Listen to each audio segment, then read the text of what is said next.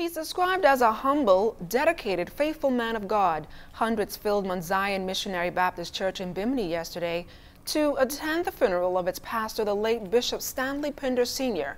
The Baptist clergyman, who just celebrated his 80th birthday in May, led Mount Zion since 2002 after enjoying a successful career in the tourism sector. Altavis Munnings was there. He said, make your promises, deliver those promises no matter how long it takes. That's what he told me.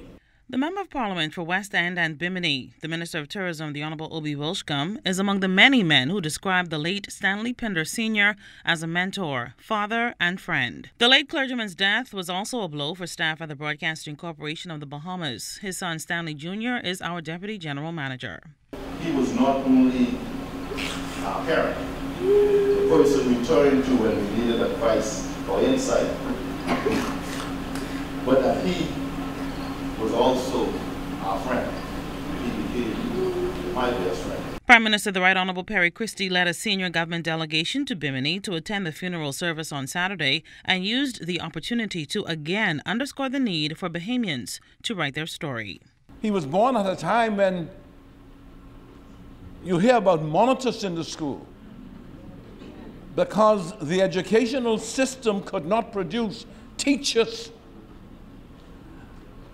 the school would identify those students who had outstanding ability sufficiently so that as students they could become teachers.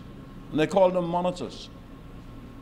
And that demonstrated that even though they may not have had the opportunity, they had the God given ability to build. Presiding Bishop of Global United Fellowship, His Grace the Most Reverend Neil Ellis, remembered spending his boyhood during Tuesday night Bible study with Bishop Pinder at Mount Zion Baptist in Bimini.